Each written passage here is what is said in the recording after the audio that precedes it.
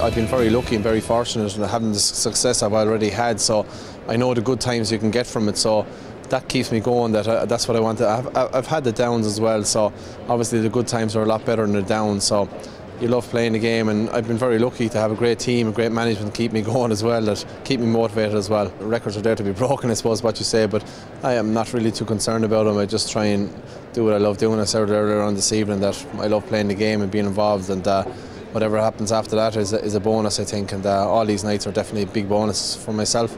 Nothing will top that. Um, it's been a fantastic year um, for I suppose the whole the whole county of Donegal.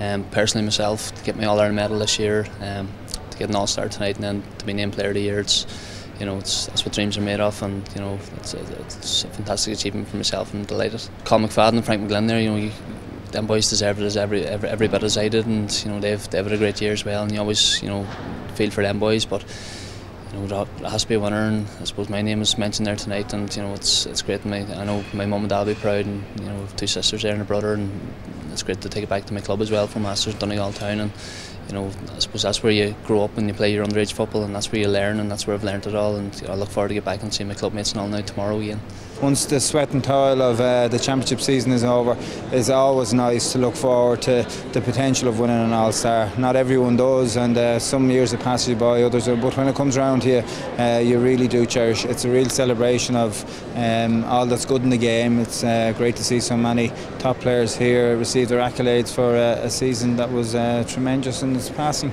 Tonight's a great night because here we're celebrating players. I, I state constantly that our entire programme of work is geared to create situations where we make great players. And uh, on a night like this, when you celebrate the very best of the players on, on display, the most skillful players, I think that's a great night for the GAA. In the last um, seven or eight years, we've been involved with the GPA and uh, the last two years with the GAA, and it's great to, to bring the, uh, the GAA and the GPA awards together. It's a great night for everybody and uh, a you know, real celebration of the year. It's a good achievement for myself, really. I know, like when we started out at the start of the year, we had a lot of young lads and had good leadership in the panel, so I'm just glad to accept it on behalf of the panel, really. You know, who would have known, really, that we would have been in the All Ireland final, and you know, we just came up short in the end, really. The buzz around the county was phenomenal, really, like, and it's just a great honour to be out there in September playing for Galway, like it's, it's nice recognition for um, for the hard work we put in all year, and I suppose, you know, it's always um, an All Ireland medal um, that that we're striving to achieve, and uh, you know, unfortunately, it didn't happen this year. But I suppose, listen, we, have laid the foundations that we can continue on. This year, I suppose, we surprised a lot of people with, with, with the style of football we played,